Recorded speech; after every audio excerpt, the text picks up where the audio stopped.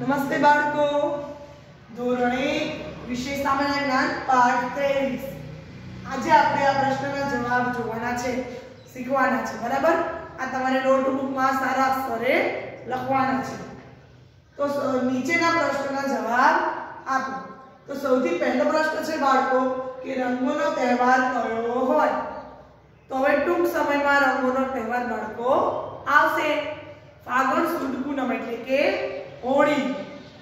આગલા દિવસે હોળી હોય છે અને બીજા દિવસે ધૂળેટી હોય છે. અને ધૂળેટીના તહેવારમાં બધા એકબીજાને રંગ છાંટે છે. તો કે હોળી ધૂળેટી. બરાબર બાળકો? હોળી ધૂળેટી. આ રંગોનો તહેવાર કહેવાય. પ્રશ્ન નંબર બે, શ્રી રામ ભગવાનનો જન્મદિવસ ક્યારે આવે છે? તો કે ચૈત્ર મહિનામાં.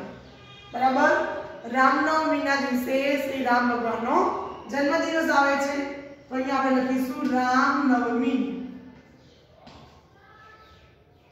પ્રશ્ન નંબર ત્રણ. શ્રી કૃષ્ણ ભગવાનનો જન્મદિવસ ક્યારે આવે છે? તો શ્રાવણ મહિનામાં અખવાડિયામાં બરાબર? શ્રાવણ વદ આઠમ. બરાબર ને? તો શ્રાવણ વદ આઠમમાં શ્રી રામ ભગવાનનો જન્મદિવસ આવે છે. જન્માષ્ટમી, શું કહેવાય? ગોકુળ આઠમ પણ કહેવાય, જે આપણે સાતમ આઠમના તહેવારો આવે છે ને, ત્યારે. તો કે જન્માષ્ટમી. શ્રી રામ ભગવાનનો જન્મદિવસ. બધા નંદ ઘેરા નંદ ભયો જય કનૈયા લાલ કી ગાય છે ને, તો જન્માષ્ટમીનો તહેવાર કહેવાય. પ્રશ્ન નંબર ચાર, આપણે બધા પતંગ ક્યારે ચગાવીએ છીએ? તો હમણાં જ ઉત્તરાયણ ગઈ. બરાબર ને? ચૌદ જાન્યુઆરી એટલે ઉત્તરાયણ. ઉત્તરાયણના દિવસે બધા ધાબા ઉપર ચડી અને પતંગ ચગાવે છે, ગોળ મમરાના લાડવા ખાય છે, તલની ચીકી, બરાબર? અને શેરડી પણ ખાય છે. તો એ છે ઉત્તરાયણનો તહેવાર. ઉત્તરાયણ. પ્રશ્ન નંબર પાંચ, આપણે બધા રાસ ગરબા ક્યારે રમીએ છીએ? તો તમે જાણતા જ હશો કે સરસ મજાના નવરાત્રીના નવ દિવસ આપણે માતાજીના ગરબા ગઈએ છીએ, ગરબા રમીએ છીએ. બરાબર? તો એ તહેવારનું નામ છે નવરાત્રી. અને પ્રશ્ન નંબર 6 કે ભાઈ બહેનના પ્રેમનો તહેવાર કયો કહેવાય? શ્રાવણ, સુદ, પૂનમ. બહેન ભાઈને રાખડી બાંધે છે. બાંધે છે ને? અને બદલામાં ભાઈ બહેનને ગિફ્ટો આપે છે. તો એ રાખડી ક્યારે બાંધે?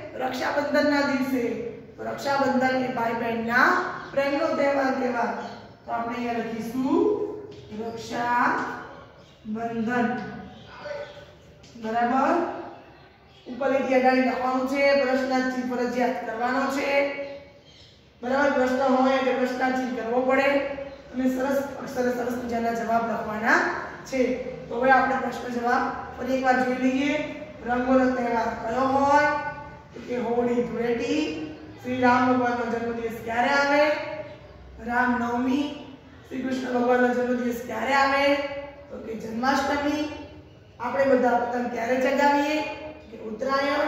આપણે બધા રાસ ગરબા ક્યારે રમીએ છીએ? તો કે નવરાત્રી. અને ભાઈ બહેનના પહેલો તહેવાર કયો કહેવાય? કે રક્ષાબંધન. તો આ પ્રશ્ન જવાબ તમારે સરસ સામાન્ય જ્ઞાનની નોટમાં સરસ લખવાના છે સારા અક્ષરે. અને પ્રશ્ન જવાબ તૈયાર કરવાના છે. બરાબર?